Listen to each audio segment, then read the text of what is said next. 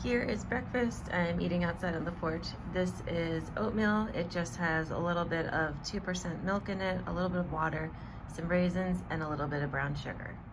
This is what's left over of my oatmeal, which is funny because I didn't think I made that much in the first place, but I got to this point and I was just like, nope, I'm done. Planning on going to JCPenney and getting some new t-shirts to work out in because mine are getting a little big on me. For lunch, I'm going to be having my chicken salsa that I made last night. Literally eat this stuff all the time. I just always have a batch going. So I'm currently using a carb counter tortilla and I'm gonna warm up some of that chicken salsa. Just have to mention again how much I freaking love this. I got this at Target and yeah, it is leak proof. This thing does not leak and you can see how much liquid is in the bottom of this. So there's my chicken salsa.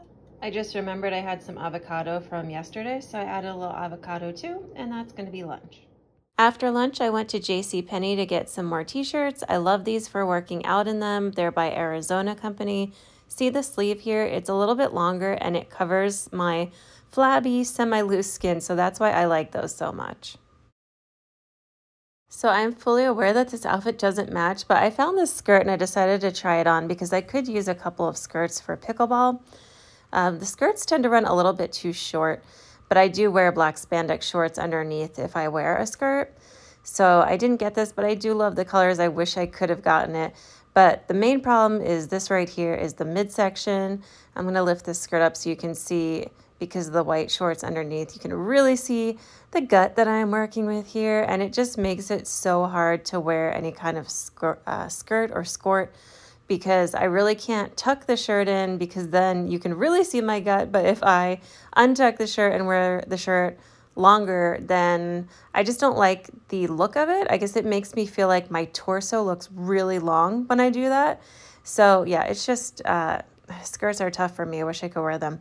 Um, I did get this shirt though. Now it is the tiniest bit snug around the midsection, but that's okay because hopefully I'm just going to lose a little more weight anyway, hopefully. You can see that these sleeves are a little bit longer on the arms though, and that's what I love about this shirt. So that's why I got this. That's why I have several of these in different colors because I like the length of didn't that sleeve. because I had dinner with a friend. I didn't want to like break out the camera and start recording dinner, but dinner was just uh, Greek salad at a Greek place. And now I'm making a little snack. I'm making baby carrots and I do have a little bit of leftover pretzels from a bag of pretzels I was eating a different day. And I just threw together a few ingredients and this dip turned out pretty good. So it has non-fat Greek yogurt in it. I also put like one heaping spoonful of light sour cream in it. And then let me turn the camera. So I added to it onion powder, black pepper, sea salt, dill weed. Dill weed is what gives things a little bit of like a ranch taste to it.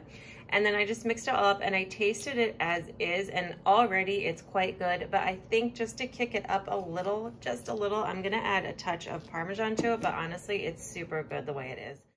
Quick editor's note here, it was actually better without the Parmesan cheese and also less calories. Final thought of the day. Do you guys remember in yesterday's footage I shared what I do with weights? I had a 12 pound weight and I was doing this exercise where I put the weight on top of my knee and I was going like this. And then I put it on the side of my leg and I went like this. Well, I just made that up on the spot yesterday and today the backs of my legs hurt so bad. like every time I like bend over to pick something up, I'm like, ooh, or if I get out of the car, I'm like, ooh. So I've kind of always wondered how to work the backs of the legs. There are some uh, gym machines where you can like lay down face forward and then you like lift the back of your legs. I just never really liked those. Well, now I know how. You just put a 12 pound weight, for me it was a 12 pound weight.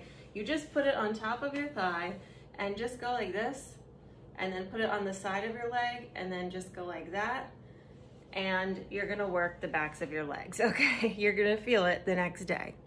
Go easy.